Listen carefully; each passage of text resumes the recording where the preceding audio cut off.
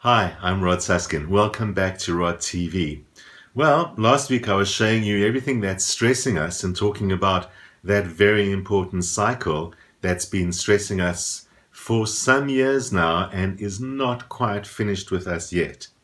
So, if you haven't watched that, I do recommend that you give that a quick look. It's only a 10 minute episode from last week, and you'll be better placed to understand what I want to talk about this week because this week I received a question from a viewer in the United States where, as we know, um, the election battle, perhaps of modern history, is gathering momentum more or less underway. Over the last year or so, Americans and the rest of the world have been at first amused and then astonished and finally a little perturbed about the surprising rise of Donald Trump in the in the election battle. And I received a question from Karen in California who wanted to know whether the conditions at the moment in any way are similar to the conditions at the time of the rise of Hitler. Now, you're probably aware that over the last two weeks, Donald Trump has been increasingly compared to Adolf Hitler, not the least because he has been asking his followers to raise their hand in a pledge to vote for him, which looks remarkably like the Nazi right handed salute, even though, without a doubt, he didn't really intend to emulate that. He probably doesn't have a strong knowledge of history anyway. Nevertheless, it started setting off warning bells. And in fact, many of the comparisons um, have been made by various commentators, both political commentators and satirists, news agency, and even the sister of the famous Anne Frank has come out and said that Donald Trump, um, Donald Trump's rise and his methods are not unlike those of Hitler. So it is a real question. It's a worthwhile question having a look at because when we have a look a little bit closer, we get a little bit of insight into what's been going on, certainly in the context of Trump and Hitler. So we need to start back with that cycle that I mentioned last week. And this is the cycle of the planets Uranus and Pluto, who, like any two bodies that we look at in space from an astrological point of view are constantly in a cyclical relationship with each other, going round and round, forming various relationships with one another. And the cycle of social change is the cycle of the planets Uranus and Pluto.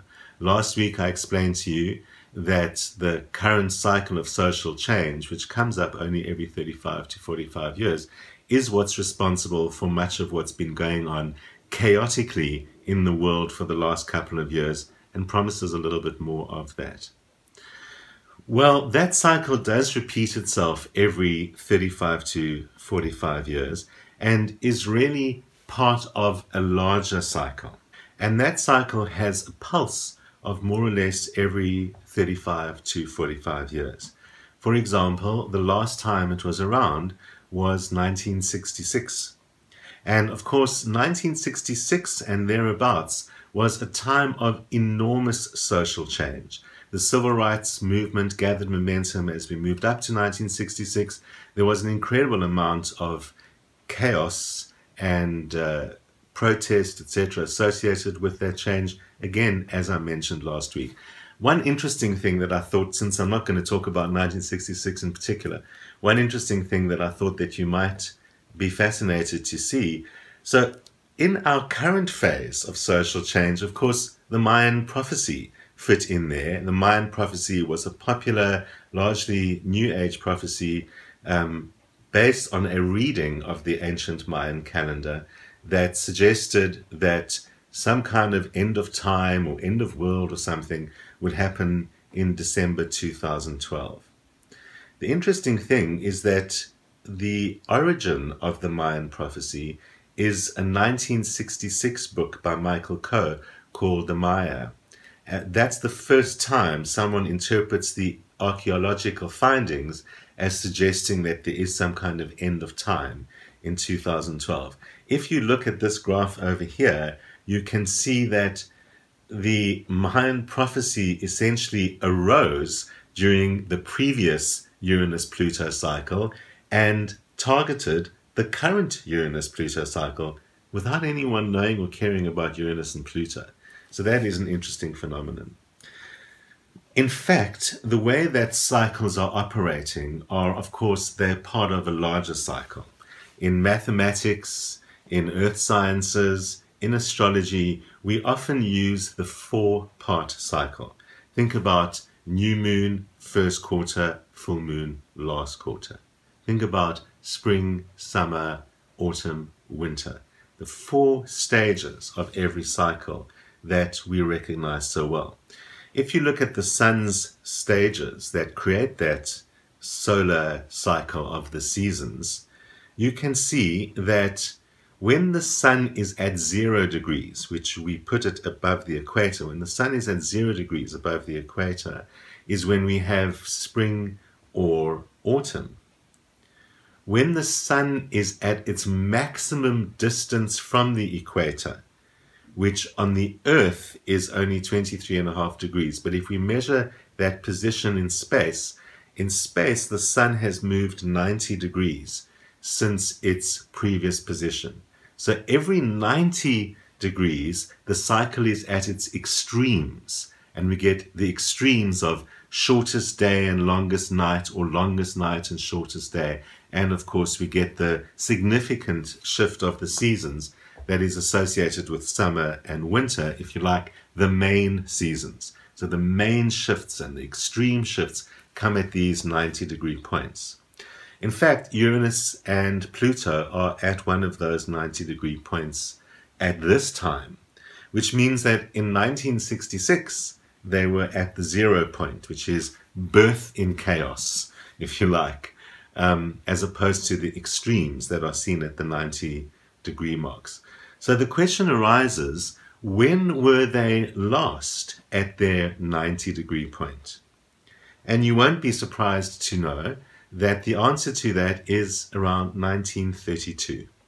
That was the time before 1966 that Uranus and Pluto got together, and that's the last time since 2015 that they were at that extreme part of that cycle. Here you can see that cycle represented, and I've inserted onto that cycle the major events that lead to the complete seizure of power by Adolf Hitler. From his initial uh, successes of his party through negotiating with the then chancellorship to gain the position of chancellor himself, right down to finally eliminating the parliamentary system and taking complete control as a dictator.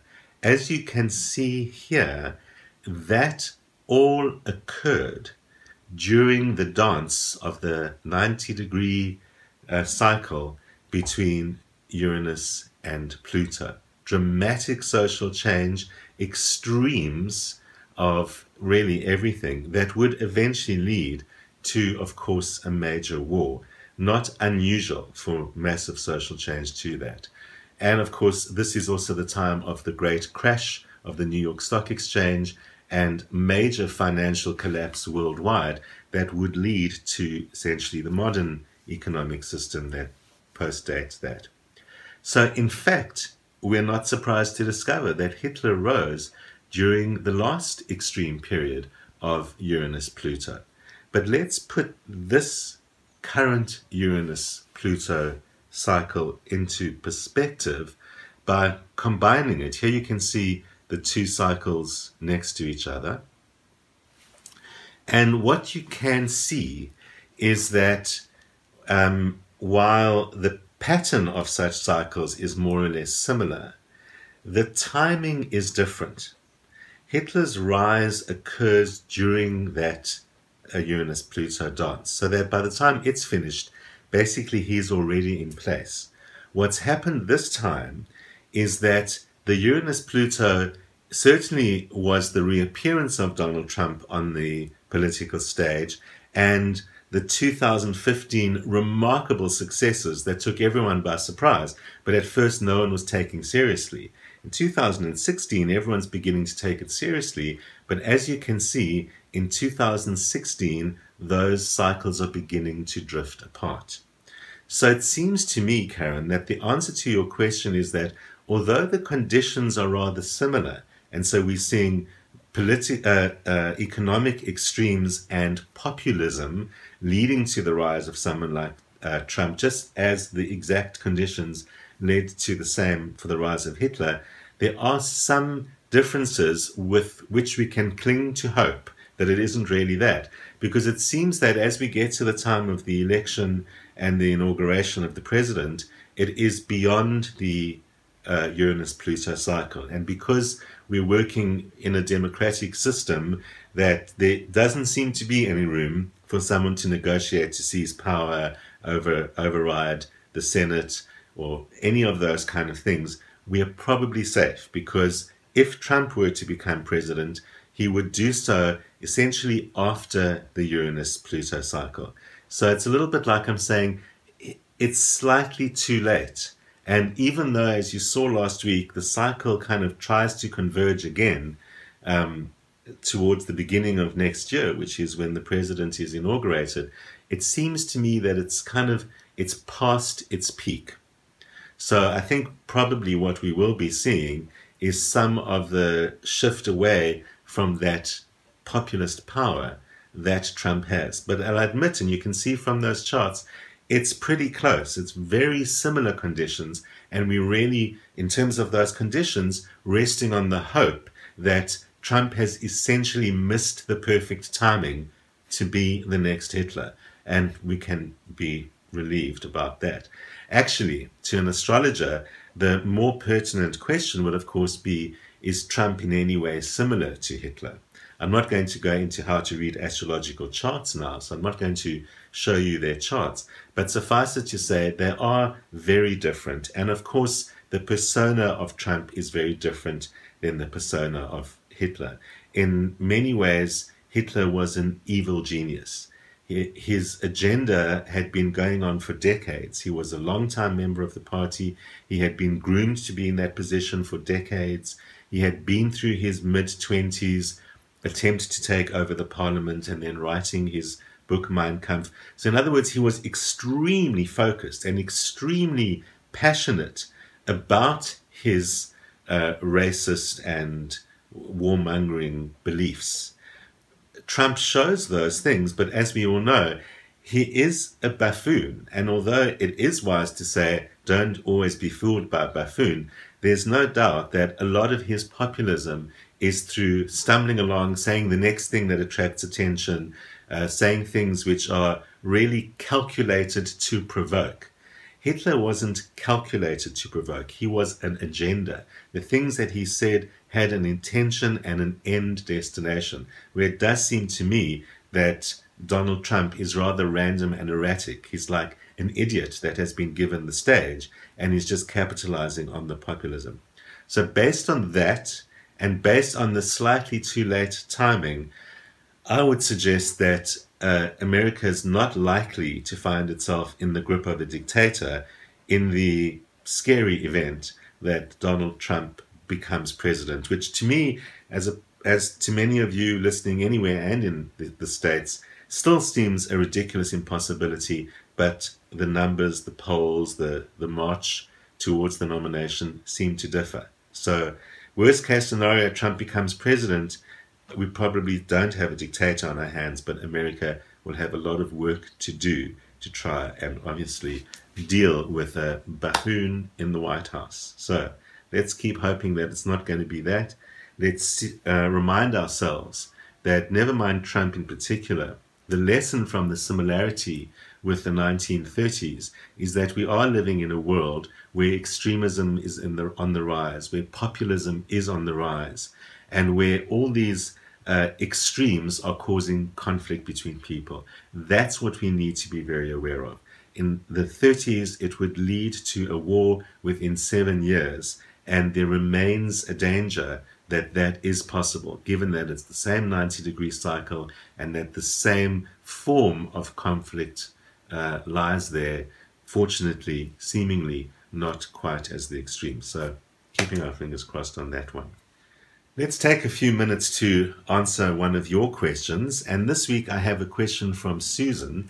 And Susan wants to know why is she feeling out of control? Will this feeling of out of control pass? Should she just lay low? Or does she need to take some action and perhaps go and find a new job or do something like that?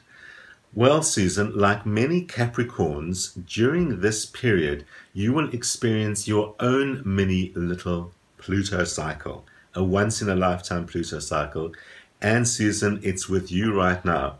It's not quite the same as the social change cycle, but it is very much about finding out where you're not in control. What is happening to you is that you will discover in so many ways where you're not in control.